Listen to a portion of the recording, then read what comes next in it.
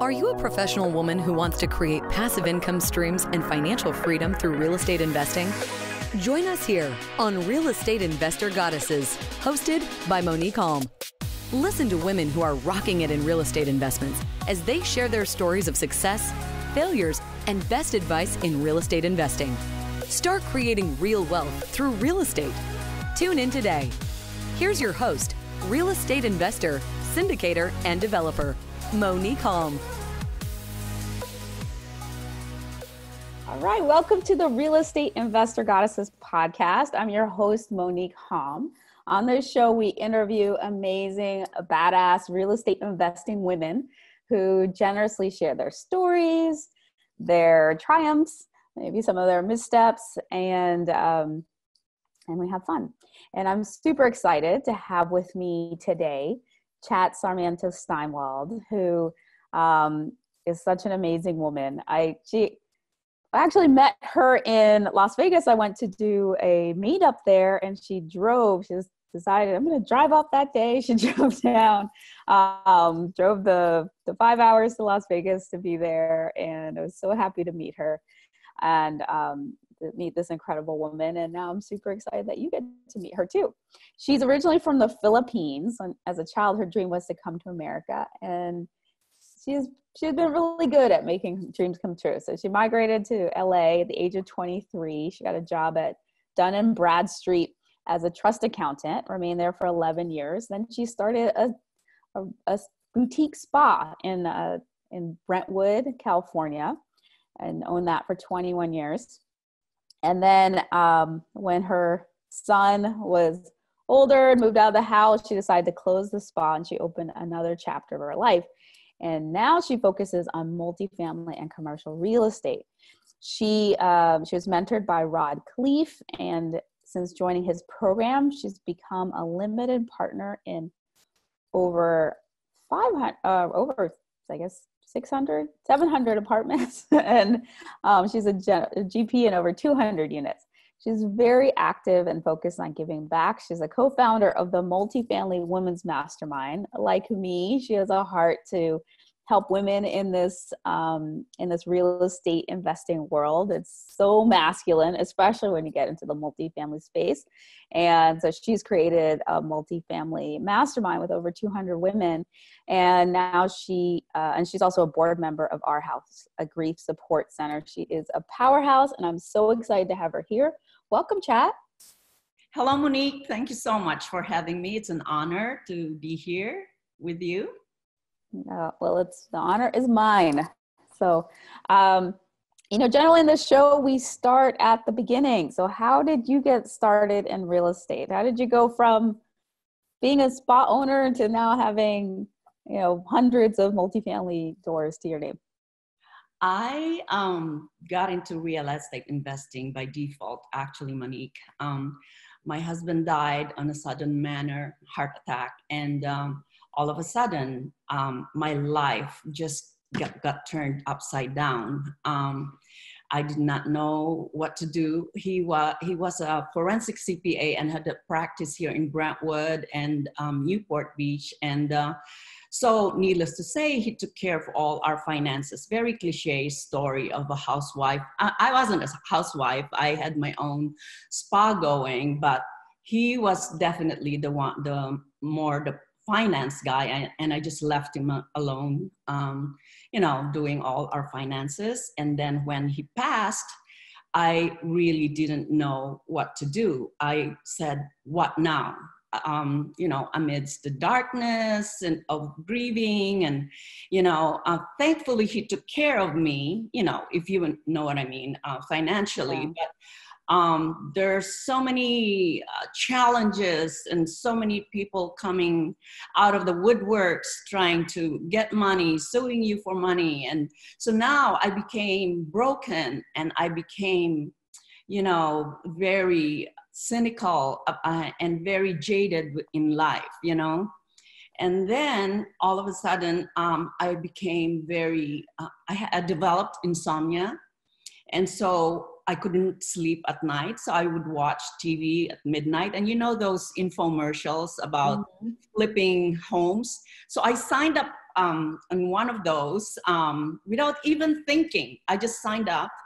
Um, and um, so I went to class. It was here in Los Angeles. And then um, by the time I know it, I was already paying $20,000 for a class. I did not know. I was just like a headless chicken walking around.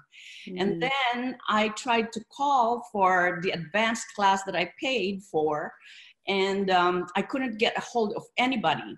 But because of that, I found um, that there's such a thing as podcast. I've, I never knew about podcast before. So I discovered podcast and I discovered Rod Khleif's um, podcast, and I turned it on. I remember very well. I was on 405 freeway. It was very traffic, and he said something like, "In three days, I will be um, in LA doing um, multifamily." I pulled over. I called the number. I signed up, and in three days, I was at Khleif's, um, um, you know, boot camp and my life has changed then since then. Mm, that's wonderful. So was your were your first investments in multifamily after that event or how did you how did you start? No what happened was i had a house in brentwood and um, emotionally i just could not. There were just too much memory. It was too painful for me um, so I moved out of the house and rented a condo and rented that out. It was good money. I mean, um, it was great money because I was netting $8,000 a month. But after going to the boot camp of Rod Khleif, that's when I realized that there's so much more potential for me if I were to cash that, mm, uh, that house out and uh, invested in multifamily. Uh, I owned that house right out. So, um, and my financial manager and CPA advised me to cash it out and um, 1031 take advantage of the step up widow um, tax advantage. So that's what I did. And um, I'm so glad I did it it's the best decision I've ever made uh, done because it was hard because uh, there's a lot of memories out there. That's where I raised my son, um, friends and family coming in, but um, I had to do it. Yeah.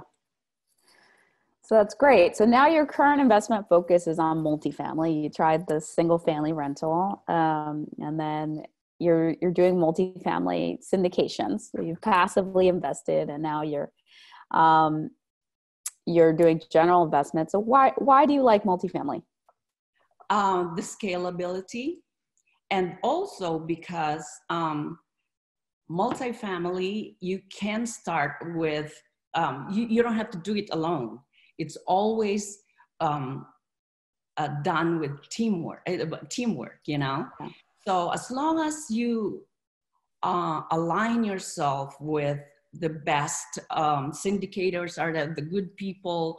People that have the same value are aligned whose values are aligned with you and the goals are aligned with you, your goals um, you'll be fine. So that's what and also let me add um, to my um, renting out my house here in brentwood I just could not be a landlord because I, I feel like the landlord um, tenancy laws are so difficult here in Los Angeles, in California yeah. per se. So that is why, that's also one of the reasons uh, why I decided to um, invest out of state, out of California, multifamily. I totally understand you. Same here. I live in Los Angeles too, and don't invest here. Um, so, where are you invested? I'm invested in um, Dallas and uh, in uh, Ohio, uh, Dayton, Ohio. That was my first investment. And uh, lately in Atlanta, Georgia, which we were just talking about. I know. She's invested in it. As well as syndicating. um, that's great. And so, where do you see the biggest opportunities in real estate investing right now? To me, the biggest opportunities are the value add um, in um, apartment investing. Um, I always like to uh, invest in I have an asset criteria in my mind, and that would be like B that can be possibly um, um, converted into A if you value add, or or C converted into B, B plus. So that's where the uh, opportunities are. You know, you buy it at a very big discount, and then um, um, whether it's mismanaged or where, whether it's um, you know the the rents are lower you know and there's a possibility for you to upgrade or whether just improving the units per se um, that's where the opportunities because you can force um, you you can force appreciation which doesn't happen in a single family home. It's it's much harder to do that that's for yeah. sure. Yeah. Um, so I want to ask you a question that I ask all of my guests uh, because I think that we get so much more value out of our mistakes and when things don't go well, so much more learning than when things are smooth sailing. So, what was your biggest mistake and what did you learn from it? All right. So um, I already mentioned to you my mistake about you know signing up. Um, that was a mistake to me, a twenty thousand dollars mistake, but that's good because it led me to the to here. But the second mistake I did was the analysis paralysis, because in the beginning I had this opportunity to buy um, 21 units um, apartment with a house in the front uh, on my own uh, in Washington. And that would have been really a very sweet deal. But because of the analysis paralysis, I backed off. So that I consider that as a mistake. So let's talk about both of those. So with the first one, you're saying signing up for this program, this mm-hmm. flipping program that you found in an infomercial. Yeah. What what specifically did you learn from that? What would you have done differently? I would have um, researched who the the people are that are running the the class mm-hmm. because um, you know I was just so naive. I was just so lost and um, I should have researched first before signing up, not like at one o'clock in the morning and calling and signing up, you know. And by the time I know it, um, I did not know the people. By the time I call, no one, no one answers the phones. It's all call center, and so yeah, that's the biggest mistake I've had. So know your. So you paid twenty thousand for nothing, pretty much. Yeah, yeah.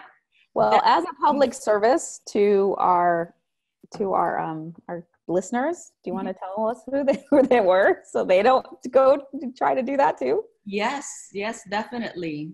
I want to tell that to everyone you know? It's a uh, it's a costly mistake but not as costly as everyone else you know i mean? I'm glad i um i had that mistake because i'm very very um vig- vigilant now and very um, careful now trust but verify in other words. Yeah so you would have researched them made the google search and see because yes. maybe when you searched online you also there were other people going yeah i signed up i got nothing. Yes. Yeah. Sure. And and then with regards to the analysis paralysis what would you have done differently? Um i probably should have just done it. Because that's the time when i was already aware the education i knew how to analyze um, properties now and you know but it was just my fear. I could not. It was a mindset you know? Um, so that's why I had to work on mindset. And thank God, Rod Khleif, his boot camps, uh, um, uh, mindset is very big and i've also signed up with tony robbins um, for all this mindset um, you know so i think yeah. you're also on tony robbins. I i do do a lot of tony robbins um, doing the platinum partnership program yeah, that's awesome. So yeah. um, that is why yeah it's uh, all about mindset as well. Yeah as tony robbins says success is 20% strategy but 80% psychology. 80%, yeah exactly. yeah, so exactly um, so the, the flip side, the biggest mistake, what are you most proud of? I'm very proud um, that uh, I did um, really well in less than um, two years, a year and a half. Um, since I started with Rod Khleif. I'm now invested in 700, um, about almost seven, over 700, almost 750 units um, of apartments and a GP in over 200. So I think, and, and I founded this women's group because um, I know that there's a big uh, need for um, w- women to collaborate and to share and support each other. As you know, as you yes, know. I do. That's what we're all, I'm all about. Yeah. Yeah. So those are all what I'm proud of in the uh, multifamily industry. And to what do you attribute your success? Um, ambitious, being just ambitious and being true to myself and being me, just being me and uh, being true. Because I believe that integrity really goes a long way. And so add that to your dream and your ambition and to your drive to work um, in the most integrous and honest way um, there's no um, you know it, it will just lead to success Yeah. Yeah. And what advice do you have for, for a woman who's just starting out in this field? that um, you know it, it it doesn't take a lot of money i just realized this to to get to this. All you need to do is one to educate yourself. There's a lot of places where you can educate yourself. If the money is a problem there, um, there's a lot of podcasts um, um, websites um, like yours your books and your um, your podcasts the um, and boot camps of course. So and the most important thing is align yourself with the right people that's the very key to my um, success really and i yeah that would be and educate of course education is power Yeah. Educating yourself, aligning yourself with the right people, and then just taking advantage of all the educational opportunities that are out there. because Yeah. in this field there's so, i just realized there's so many generous people truly whether they're uh, they are male or female um, investors they're very willing to help you out you know if you're just starting i just found out this is the most generous um, uh, investing space so Yeah. They are great people. So, yeah, so good. Um, and what do you wish you'd known at the beginning that you now know? that um, that I can ask for help with the right people, that um, people are willing to help you, and that um, you don't have to be afraid. There's really nothing to be afraid. Just be very, very cautious, but again, trust but verify. But you'll do well. You know, just use your education, your knowledge, and and and you'll do well. Hmm, so good. Um, before I, we get into our famed end of show Trinity, which is a brag, a gratitude, and a desire, what's the best way for for people to reach out uh, to find out more about what you do?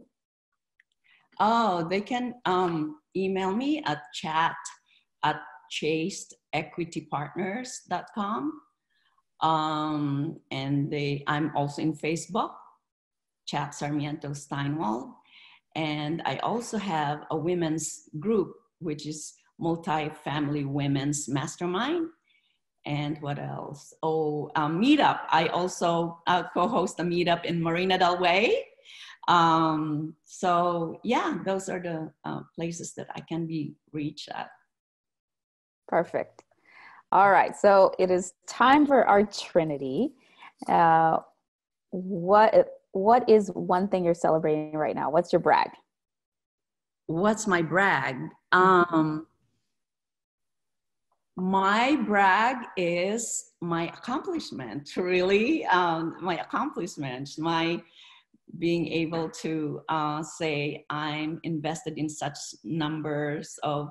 Actually, the numbers is not really. Uh, I know what my um, value in my portfolio, but my brag is that the success I got and the friends I I, I um, gained in this um, journey. That's mm. my brag. Well, brag. And what's one thing you're grateful for? I'm very grateful for my son. That's definitely number one. Um, uh, raising him as a good human being and um, working at UCLA right now uh, with autistic kids. And that's really, I'm very proud and um, being a, a stu- uh, taking his mas- master's and doctorate program as well. So I'm being, I'm very grateful for that and my family and friends. That's mm-hmm. what life is all about. Beautiful. Thank you. And last but certainly not least, what's one desire?